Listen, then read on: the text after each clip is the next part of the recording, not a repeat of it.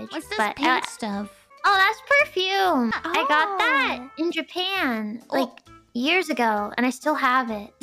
Oh. It's lasted a long time. That's not really makeup, but I guess we'll we'll keep it that. It's Oh, interesting too. So I just- now, if you want to smell, I didn't like want it to too Mumei, empty. or you want someone to smell like Mumei, You want your The Mumei body My- pillow. yeah. your Put this on acrylic your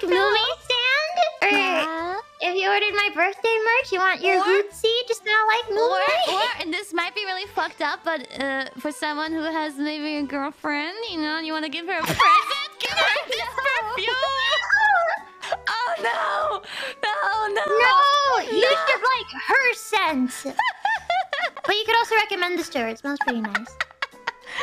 Say Mumei recommend recommended.